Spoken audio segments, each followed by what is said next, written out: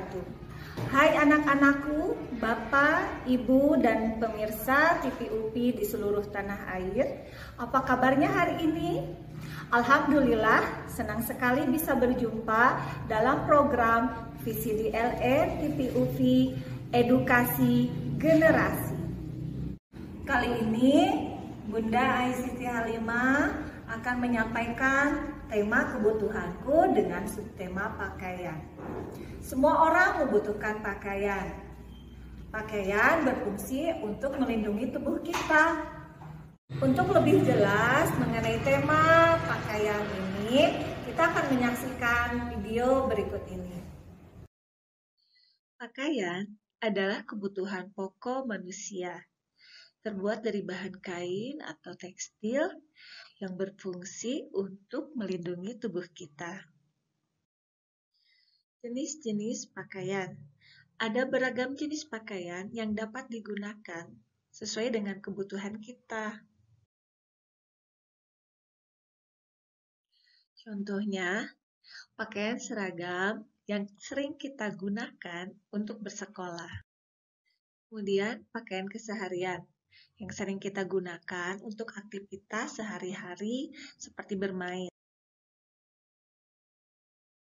Pakaian keagamaan untuk kegiatan keagamaan dan beribadah. Ada juga pakaian adat untuk acara adat. Dan pakaian pesta biasanya digunakan untuk menghadiri acara-acara pesta. Setiap orang biasanya memakai pakaian sesuai dengan kesukaan dan kenyamanannya masing-masing. Berikut akan ditampilkan tayangan video cara memakai pakaian yang benar. Selamat menyaksikan. Cung, kaki kanan sudah masuk. Ya, sekarang giliran kaki kiri ya. Sung. Ini dia singlet baru hadiah ulang tahun.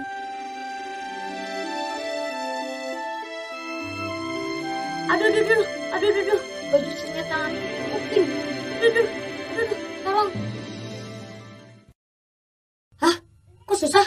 Aduh, kok susah sih? Bunda, kepala Ali nggak bisa masuk. Oh, itu karena kaosnya sudah kesempitan, sayang. Ganti ke meja aja ya.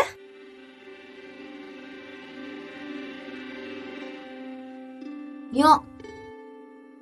Tadi Mio kan pingin tikus. Nih, tangkap nih.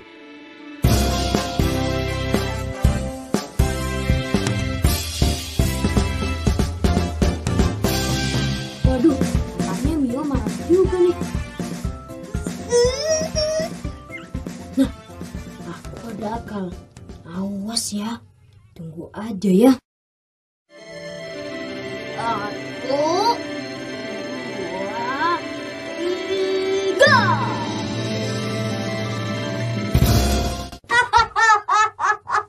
Mio kena, Mio kena. Ayo Ali, udah, ini kemejanya. Kalau doa sebelum memakai baju, Ali sudah hafal. Bisa, bisa Bunda. Oh ya? Kalau begitu, kita baca sama-sama ya, biar Ali bisa ikutan hafal.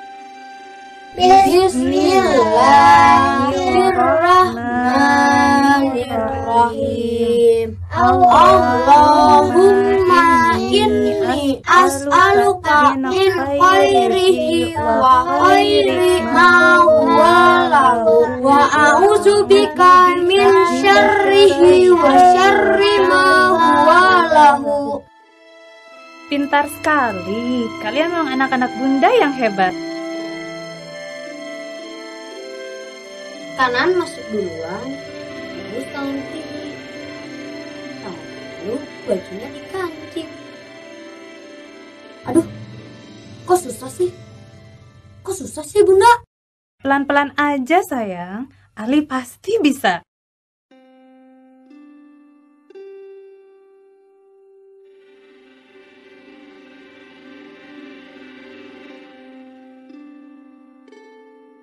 Asik, Selanjutnya kita akan menjahit bentuk baju dari kertas origami. Adapun bahan yang perlu disediakan adalah kertas origami, gunting, benang, strip plate, dan lem. Kita mulai dengan melipat kertas untuk lebih mempermudah membentuk pola bajunya. Kita lipat dengan sisi yang sama, kemudian kita akan menggunting ujungnya. Selanjutnya, kita akan menggunting bagian sisinya.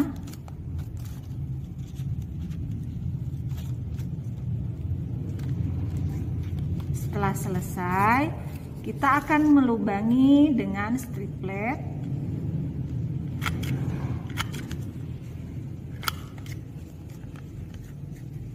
pada sisi-sisi bentuk bajunya.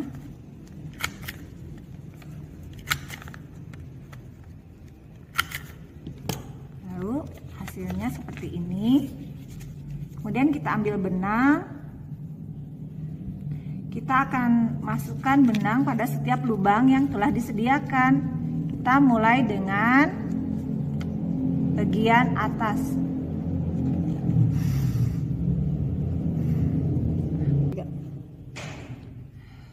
Kemudian kita masukkan pada lubang berikutnya.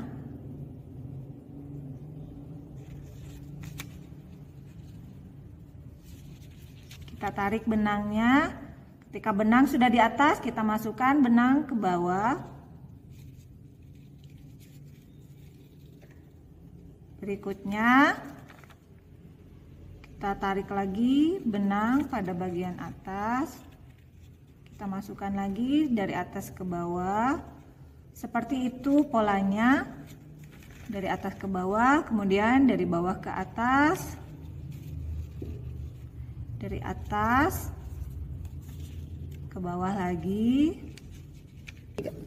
Kemudian kita masukkan lagi dari atas ke bawah dari bawah ke atas lagi. Dan kita satukan benangnya dengan cara diikat ya agar lebih mempercantik.